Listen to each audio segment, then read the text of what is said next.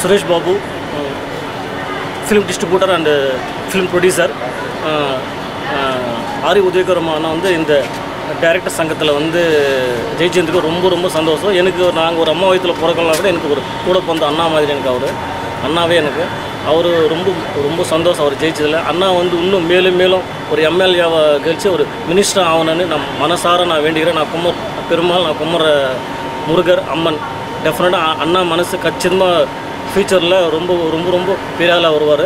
அண்ணா இந்த ஒரு டைரக்டரத்துக்கு இவ்வளோ பண்ணுறாருன்னா அரசியல் வந்தால் இன்னும் ரொம்ப மகிழ்ச்சியாக அதே மாதிரி பண்ணுவார். எஜமான் எப்படி படம் எடுத்தாரோ அதே மாதிரி நம்ம ஒரு எம்எல்ஏ கழிச்சு கூட எஜமான் மாதிரி மக்களை நல்லா பார்த்துப்பார். அவ்வளோ ஒரு அவருக்கு அவ்வளோ செல்வாக்குது அவர் இன்னும் மேலும் மேலும் போயிருந்து ரொம்ப மனசார வேண்டிக்கிறேன். இந்த சங்கம் வந்து அண்ணா ஜெயிச்சதில் இன்னும் டேரக்டர் சங்கம் இன்னும் ஓஹோன்னு இருக்கும். மகிழ்ச்சியாக இருக்கும். ரெட் இந்தியன் டிவி நேர்களுக்கு. இந்தியனுக்கே ரெட்டா சரி பரவாயில்ல. ரெட்டில் தான் ஒரு ஃபயர் இருக்குது சிவப்புங்கிறது இல்லாத இடமே இல்லை.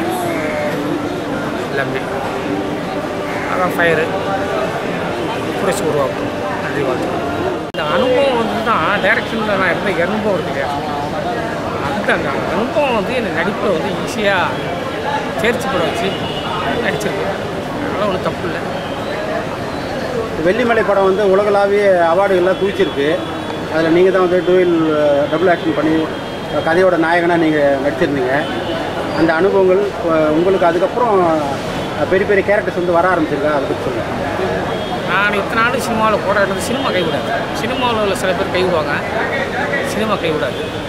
எவ்வளோ படங்கள் நானும் ரஜினி முருகன் பிசாசு முண்டாசு பெட்டி காலா பரியர் பெருமாள் இப்படி நடித்து நடித்து கடைசியாக வெள்ளிமலைங்கிற ஒரு படத்தில் மிகப்பெரிய டூயல் ரோல் சித்தர் கேரக்டர் நடித்தேன் அந்த படம் ஒரு பெரிய உலக லெவலில் பேசப்பட்ட பாராட்டக்கூடிய படமாக போட்டுட்டு எல்லாருக்கும் அவார்டு போயிட்டுருக்கு. அமேசானில் வாங்கி ரிலீஸ் பண்ணுவாங்க அதனுடைய விளைவு தான் அடுத்து வந்து நான் வந்து பரமன்னு ஒரு படத்தில் லீடாக பண்ணியிருக்கேன்.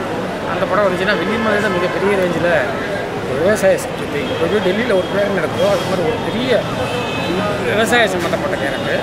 அது உண்மையிலேயே பார்க்குறவங்கள ஒரு பெரிய பாராட்டுக்கு எனக்கு நிறைய பாராட்டு கிடைக்கும் பெரிய அவார்டு கிடைக்கும். கமர்ஷியலாகவும் அந்த படம் வணிக ரீதியாகவும் எப்படி அவர் இவ்வளோ நடிச்சிருக்காரு அப்படின்னா அதை நான் இவ்வளோ அவார்டுகள் நான் டைரக்ஷனில் பட்ட அனுபவம் தேர்ச்சி தான் இந்த படத்தில் நான் நடிப்பு வந்து எஸ்டாப்ளிஷ் மேற்கொண்டு வேறு என்னென்ன படங்கள் கமிட் ஆகிருக்கு ஜெயமொழி படம் விஜய் சேதுபதி மகாராஜா. இன்னும் நிறைய படங்கள் பண்ணிட்டு வெற்றி வரணும் ஒரு வெற்றிக்காக தான் எல்லோரும் போராடுறாங்க. ஒரு வெற்றி இன்றைக்கி வரலாம் நாளைக்கு வரலாம் சில பேர் ஈஸியாக கிடைக்கலாம் சில பேர் ரொம்ப லேட்டாக கிடைக்கலாம். நம்ம கொஞ்சம் லேட் ஆகுது. பரவாயில்ல சினிமா கைவிடாது. பார்த்து எல்லோரும்